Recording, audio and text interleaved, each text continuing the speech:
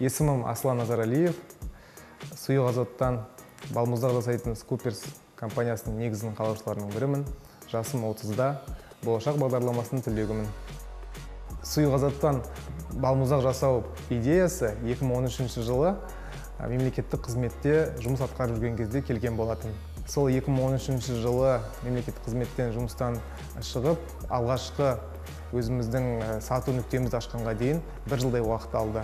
Үйдегі ас үйде интернеттен қарап балмұздақ жасаудың рецепттерін үйреніп тестілеу арқылы өз рецептімізді ойлап шығардық. Шет елден көптеген ұсыныстар келіп сұраныстар келіп қазір біз қытай елде шанхай қаласындағы осы жылдың соңына дейін бірінші франшизамызды ашу жоспарымыз бар. Шетелге қазақстандық алғашқы брендті шығарып экспортқа сол жерде скуперсті дамытқанды жөн көріп сондай шешімге келіп отырмыз. Қазіргі таңда ә, алматыда екі сауда саттық орталығында сату нүктелеріміз бар.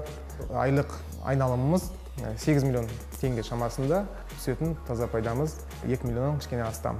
Жас кәсіпкерлерге айтарым қолыңнан ә, не келсе немесе қандай да бір идеяң болса сол идеяны идея күйінде қалдырмай соңына дейін алып барсаң ол жобаңды жетістікке жетерінде мен күмәнім жоқ. Жетістікке жеткен іс адамдарынан қорықпай ұялмай барып кеңес сұрағандар абзал.